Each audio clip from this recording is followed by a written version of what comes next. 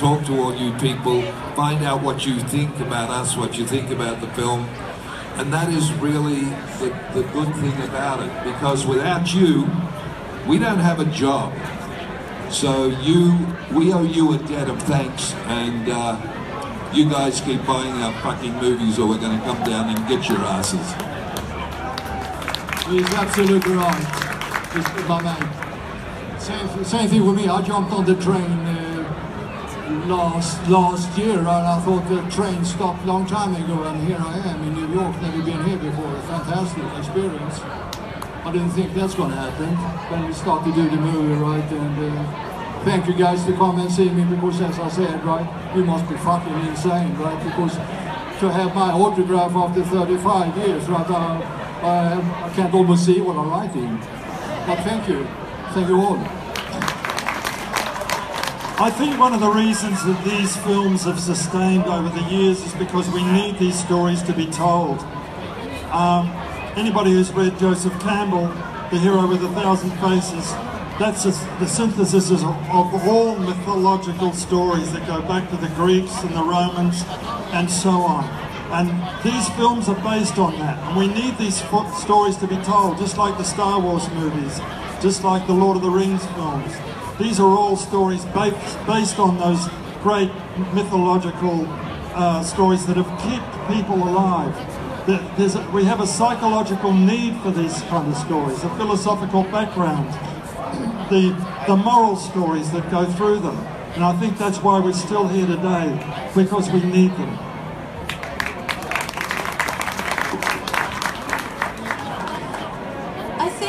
One of the wonderful things about Mad Max 2, in particular Road Warrior, is that it never aged. And even though it's 35 years old, if you've never seen the movie and you watch it right now, um, it seems as fresh as the day it was made 35 years ago. There's nothing in it to, to date it.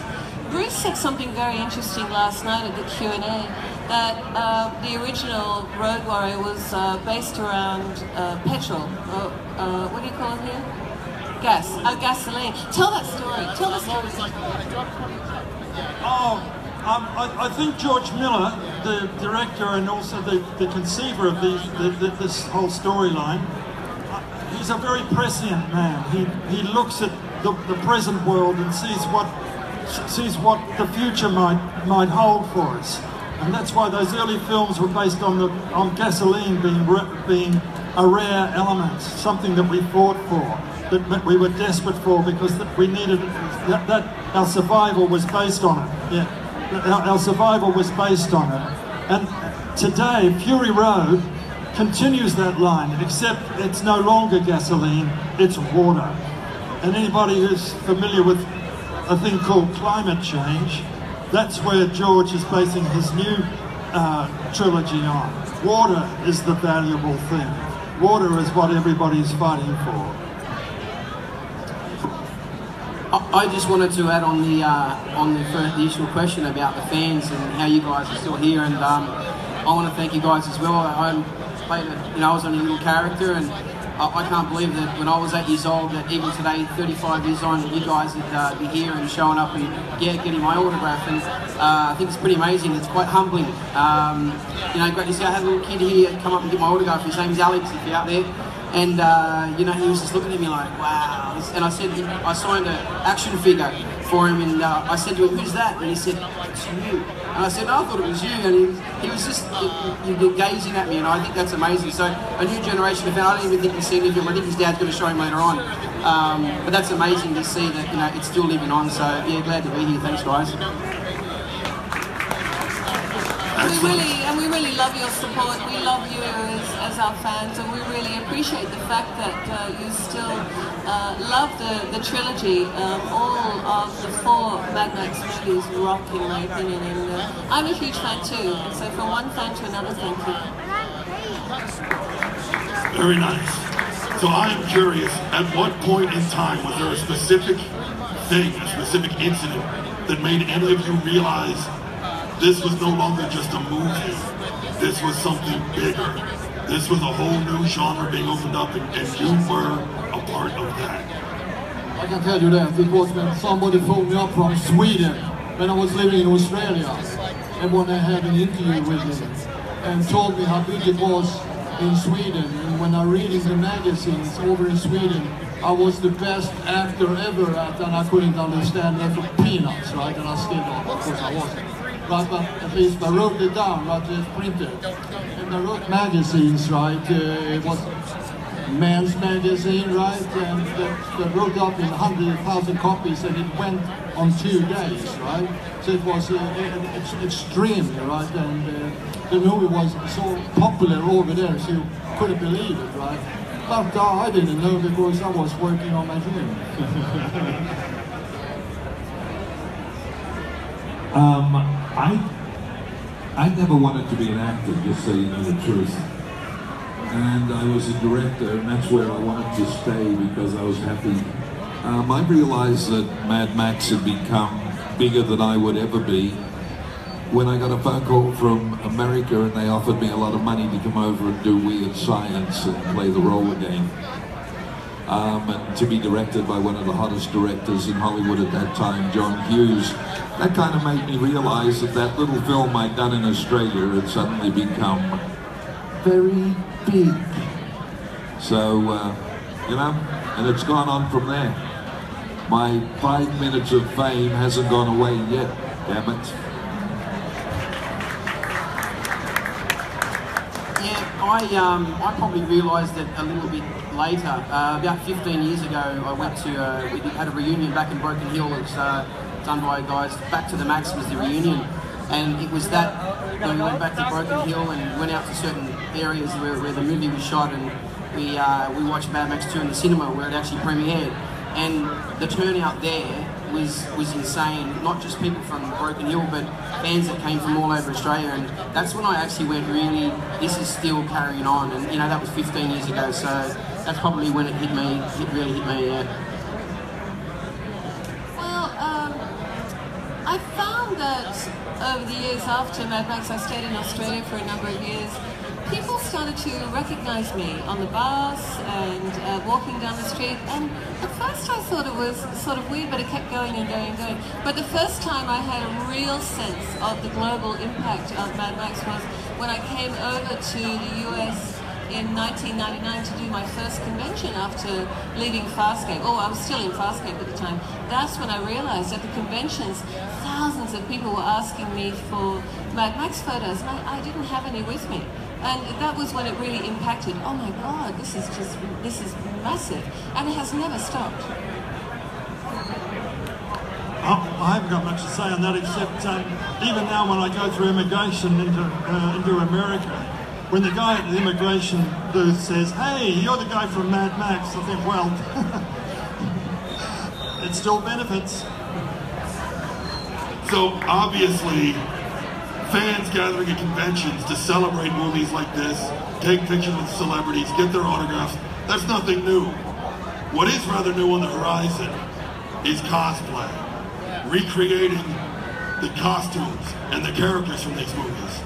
So I'm curious, when a maniac like myself shows up at your table, what is that like for you? Is that, is that an honor? Is that creepy? How does that feel? You take that behind the scene, okay? Just kidding. I think it's great, you know. I think it's fantastic, and I give you a couple of training tips, right? So you really can look like me.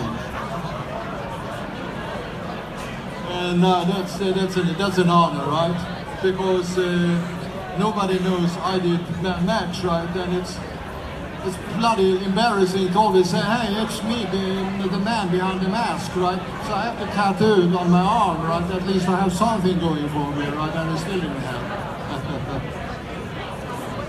but thanks anyway, thank you. You've done a good job, though. I like it. I think it's a great honor. In fact, uh, there's a warrior woman here today. Where is she? Joe, come here. Look at this. I mean, this is absolutely spot on. It's incredible. I, I, it's a great honor. We love it. We absolutely love it. It's it's such a uh, it's such a pleasure. Thank you very much. I appreciate all the hard work you went to. We, white girl. No, she said we love it. I was saying we. Uh, Um, I find it really interesting because it's very rare that I see someone that actually wears the full costume that I wore, which means that they've got the ass. Turn around. Not often they've got their ass bare. Most people tend to cover it, so But I think just to have people take the time to make the costume, to wear the costume, is very humbling because it means that you've affected someone very strongly for them to even want to do that. So I think that is just amazing on their behalf and you know it's just very interesting. I think what's even more interesting for me was that I was voted into five magazines as one of the top five villains of the last 40 years and I think that is bloody insane. Yeah, the legend lives on. It's just ridiculous, but you know what? I'll take it. I was on the 10th place. Sure. Um, I understand there were a lot of rewrites uh, during the filming of the script. Uh, is there anything that you remember filming that didn't make it into the final cut?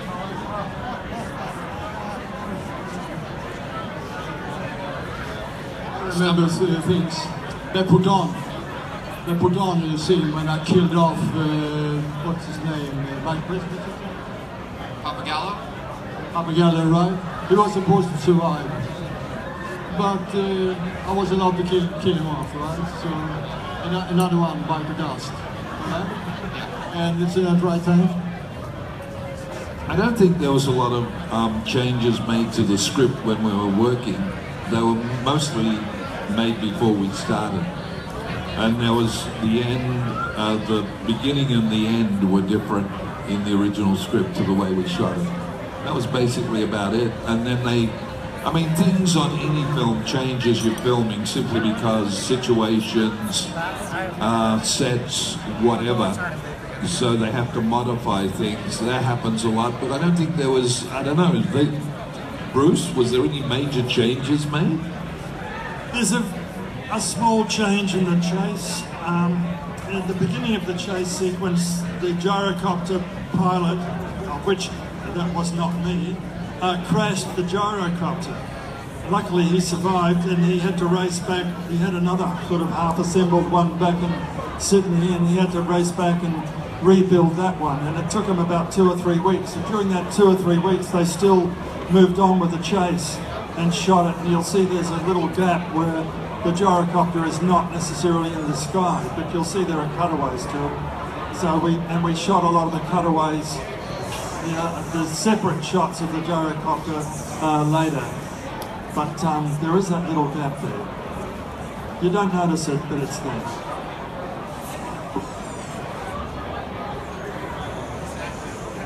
Questions? Sure, yeah, we'll take questions in a minute. How do you guys feel about the new film, Fury Road? Do you have any feelings on the Right. new film? Have you seen it? I'm sorry, there's a new film. There was only ever Road Warrior. I, I, no, I think I Road Warrior was good, but I, I really do think it's brilliant, and I, I admire George for rebooting the, ser- the the whole series and going into another trilogy. I think there is a freshness about it. I think the fact that he's recast so, many of those characters uh, sort of consolidates that freshness. And as I said earlier on, in the, in the previous movies, gasoline was the great product that everybody was fighting over. Uh, and this time it's it's water, and it's if you recognise the environment during that whole chase sequence, that they're looking for the is it the green country or the green the green land or whatever it is, the, the, and um, and um, they don't find it because it's all dried up, and that's that's his preoccupation right now is climate. As a spectacle, it was probably the most amazing film ever shot. The costuming, the vehicles, the the whole setup of that film was brilliant. It was George Miller to a T. Nobody can duplicate anything that George does. He does it way too well. Uh, to go in and watch, it was mind blowing. I only have one question. how many lactating women does it take to fill a semi-trailer with milk?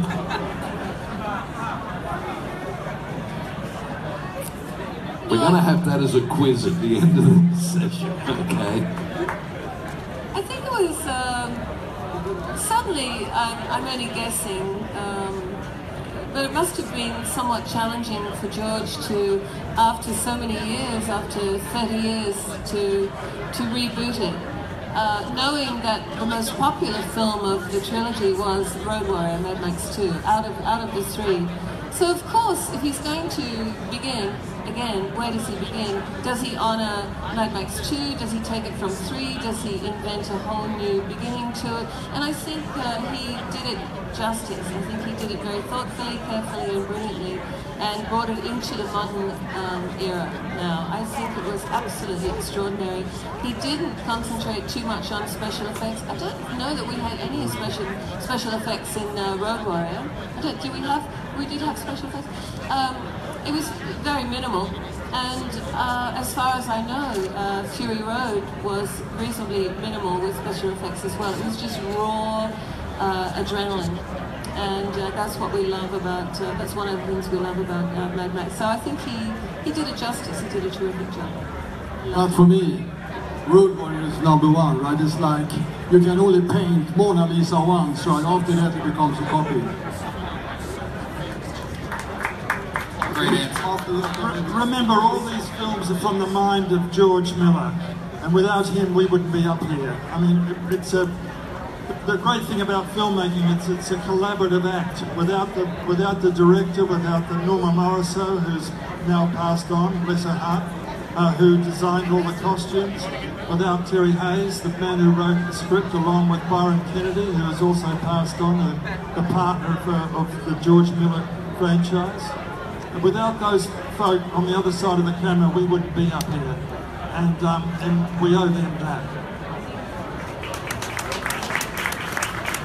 Yeah, just uh, ending that on uh, Fury Road. I went to the premiere in Sydney, and uh, I remember coming out and I, I rang my mate um, who's building an interceptor for me, and uh, he said, "What was it like? What was it like?" And I said, "Mate, it was like watching a two-hour trailer. It was just action-packed from start to finish." In your face, and I, I actually, I did an interview the next day on uh, Sydney radio, and I said I've got to watch it again to actually fully comprehend really what happened. Um, mind blowing, mind blowing film, and uh, just brilliant. Yeah. Great, thanks.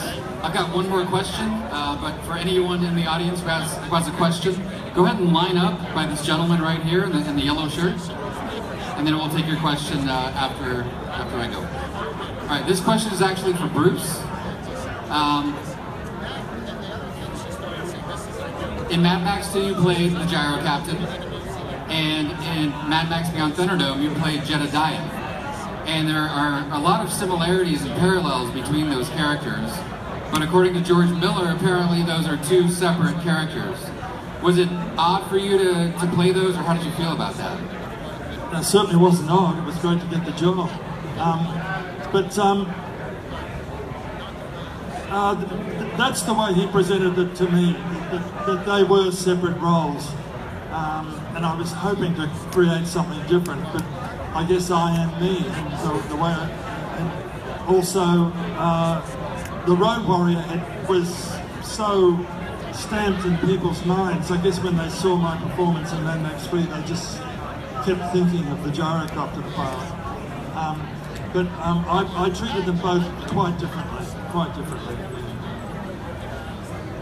All right, thank you. All right, we'll start with some audience questions.